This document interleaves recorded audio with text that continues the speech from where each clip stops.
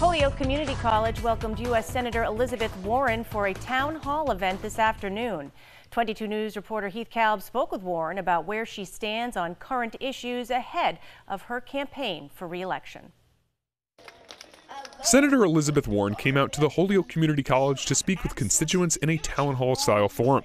This event is one of several she is holding across the Commonwealth as the member of the Democratic Party and senior United States Senator from Massachusetts since 2013 is running for re election in November. I just want to say it's the greatest honor of my life to be the representative of the people of Massachusetts down in Washington to fight these fights, and I'm hoping they'll give me six more years to do it.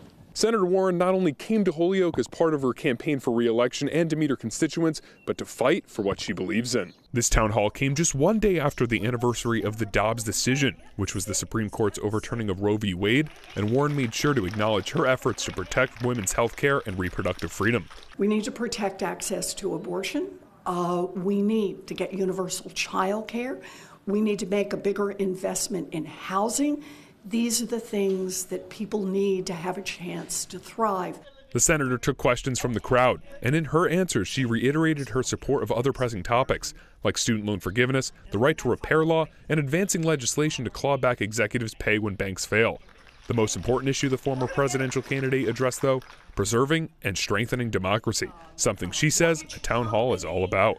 Working for you in Holyoke, I'm Heath Kalb, 22 News.